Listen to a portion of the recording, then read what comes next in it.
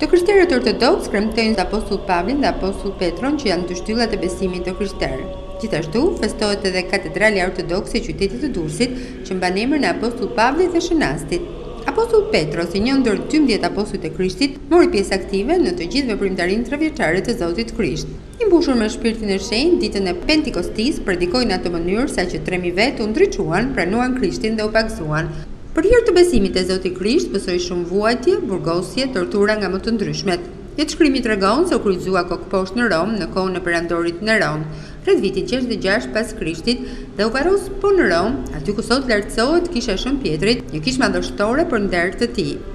Apostull Pavli më parë quhej Saul dhe ishte farisej që i përkiste një sekti konservator të hebrenjve. Në fillim ishte përndjekës i të krishterëve. Pasi mori lejen prej autoriteteve, u nis për të arrestuar dhe burgosur të krishterët në Damask të Sirisë, por gjatë rrugës papritur u përball me Zotin Krisht.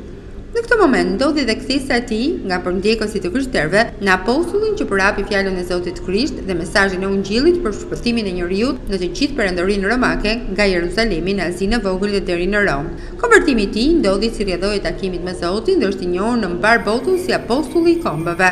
Shkroi katërmbëdhjetë letra, të cilat janë pjesë e Dhiatës së Re. Me anën e tyre, shpalosi dije të thella në lidhje me mësimdhënien dhe moralin kristian. Edhe apostull Pavli, si apostujt e tjerë, pësoi shumë vuajtje për hir të Krishtit. U burgos disa herë dhe shumë herë të tjera u torturua. Disa herë i ngritën pritë për ta vrarë. I burgosur, shkoi në Romë, ku edhe aty predikoi me guxim fjalën e Ungjillit. Edhe apostull Pavli u martirizua me prerje të kokës në Romë në kohën e perandorit Neron rreth vitit gjashtëdhjetë e gjashtë pas Krishtit. Në traditën ortodokse, ndodh jo pak herë që dy shenjtorë të festohen në të njëjtën ditë, madje dhe që kanë bashkëpunuar. Por, njëzet e nëntë qershori është e veçantë, pasi nderohen dy shtyllat e besimit të krishterë. Apostull Petro dhe apostull Pavli, edhe fundin e jetës e kishin në të njëjtën mënyrë me martirizim, madje në të njëjtën datë, njëzet e nëntë qershor, por në vite të ndryshme. Për apostull Petron nuk dëshmohet për mision apostolik në krahinat e Ilirisë, ndërsa për apostull Pavlin po. Madje ai vetë shprehet në një nga letrat e tij, Me fuqi shenjash dhe çudirash, me fuqi të frymës së Perëndisë, kështu, prej Jerusalemit e përqark dhe gjer në Iliri, kam kryer shërbimin e ungjillit të Krishtit. Por, edhe sipas traditës historike të kishës, apostull Pavli ka ardhur, predikuar dhe mbështetur kishën e krishterë në Durrës. Madje, studimet historiko-teologjike mbrojnë idenë e ardhjes dy herë të apostull Pavlit në Iliri, në Durrës, ku dy udhëtimet mendohen, një herë në udhëtimin e tretë apostolik e më pas, pak para martirizimit të tij.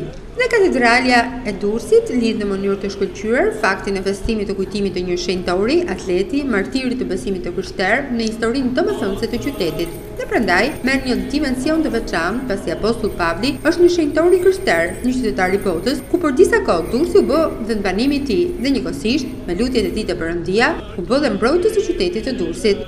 Bashkë me lutje drejtuar këtyre atletëve të Krishtërimit për të ndërmjetësuar te Perëndia për ne, shpreh dhe një falënderim për Kryepiskopin Anastas, i cili bëri të mundur me ndërtimin e Katedrales, ringritjen e traditës që Apostull Pavlin e lidh me besimin e krishterë dhe njëkohësisht me jetën dhe historinë e krishterë të qytetit të Durrësit.